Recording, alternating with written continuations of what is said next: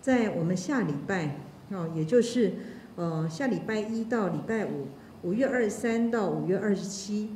的部分，高中以下花莲县高中以下包含幼儿园所哦，公私立幼儿园所哦，是这个暂停实体课程哦，暂停实体课程，所以请我们所有的家长一定要注意。这个十二岁以下孩子的照顾以及安排，哦，一定要让他们安全的在家。今天全国是八万五千七百二十位确诊，那花莲县是一千一百八十七位。好，这里跟大家报告。另外新增的居家照护的部分是一千一百七十八人。好，个确诊的年龄分布，所以在十二岁以下的是一百七十四人。十三岁到十八岁，好，这个区间的是八十九人，在十九岁到六十四岁是七百八十三人，六十五岁以上的一百四十一人。月二十三号到五月二十七号，我们暂停实体课程，哦，调整为线上课程。那我们会在这个今天，哈，会给我们的高国中小还有幼儿园。每一个学童带一剂的快筛试剂回家，回家，在我们的五月三十号来上课的第一天，请在上学前先请家长为孩子做快筛，快筛阴再到学校。五岁到十八岁，我们的儿童及青少年 BNT 新冠疫苗校园接种，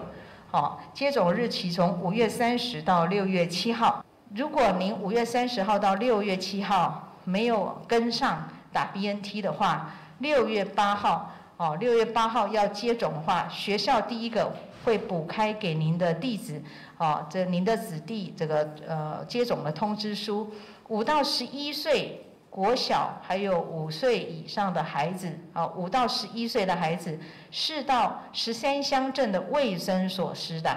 带着你的接种通知单、健保卡，哦，还有本人到卫生所来施打。如果你是十二岁到十八岁的这个国中、高中的孩子，是打第三剂，所以您是到医院和诊所来预约接种，来预约接种。疫情越来越严峻，哈，那很啊，依照中央疫情指挥中心的预测，可能就会进到我们的高峰期。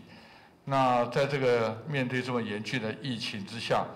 我想我们整个花莲县所有的乡亲们，啊，应该手牵着手，啊，互相连接在一起，以爱的连接来面对这样一个严峻的啊一个疫情哈。那我想县长不断的提醒大家，有哪些地方可以卖快筛试剂？那我们卫生所啊也有快筛试剂在偏乡的地方在贩售。所以我想，好，我们趁这个机会来推动一个快筛之爱的行动，哈，快筛之爱的行动。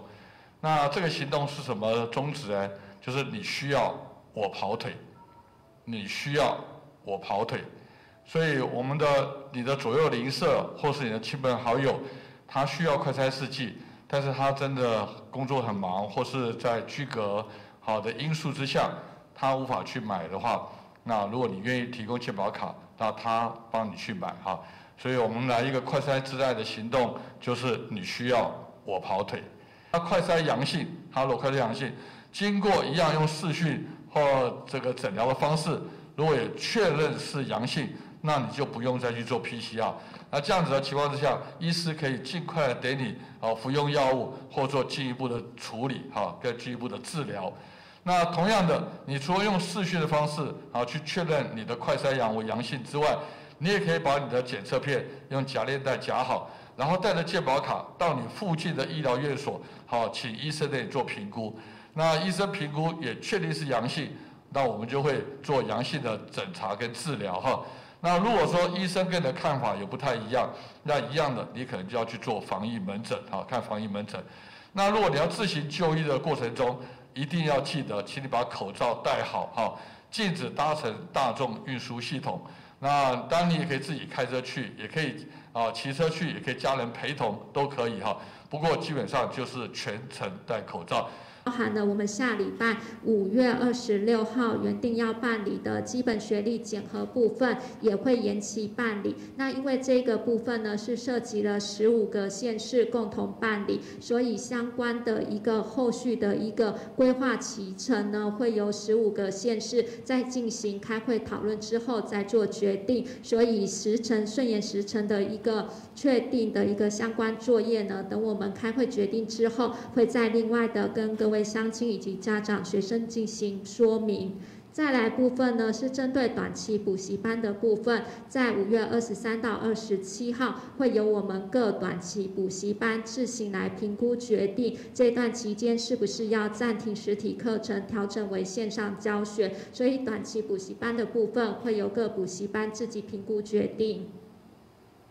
校园的一个防疫假，还有暂停实体课程的一个状况。那今天新增的学校总共有二十四所学校，包含高中端的部分有花莲高农一所学校。那在国中端的部分呢，有光复国中等六所学校。那在高中端跟国中端的部分呢，会进行我们班级的一个九宫格同学呢，进行三天的一个防疫假。那在国小端的部分呢，包含我们中正国小等九所学校。幼儿园的部分呢，包含了毛毛虫幼儿园等八所学校。在国小端跟幼儿园的部分呢，就会针对我们确诊的一个学生呢，所属的班级进行三天的一个暂停实体课程。那这是今天的一个校园防疫假跟暂停实体课程的情形。